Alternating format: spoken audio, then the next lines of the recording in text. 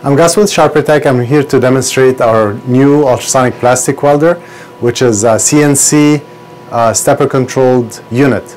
So we can uh, weld by distance, by time, by energy. We can uh, set the weld start at any point and uh, we automatically can set uh, a part sensing uh, distance. So with this machine here, we have, this is the main screen, and we have the setup screen access from here.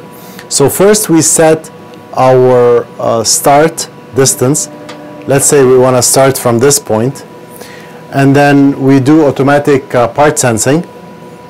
So the head is going to automatically sense where the part is.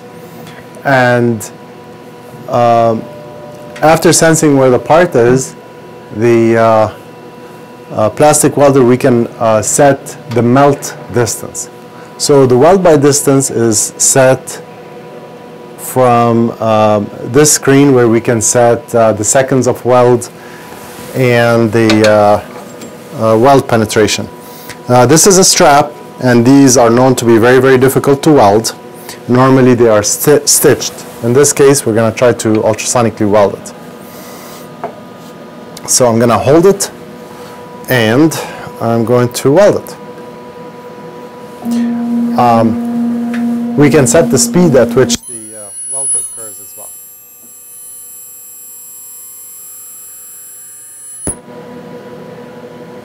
So now we have the hold time after the weld.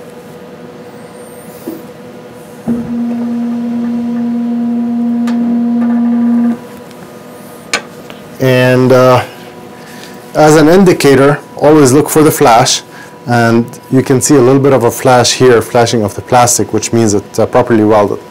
With uh, plastics, you want to wait a little bit for the plastic to cool down before you do a pull test. So normally it's uh, common that you would wait about 10 minutes, uh, but in this case I'm going to do a pull test and see how well this uh, strap is welded. So as you can see, this is very, very well welded and uh, I cannot pull it apart.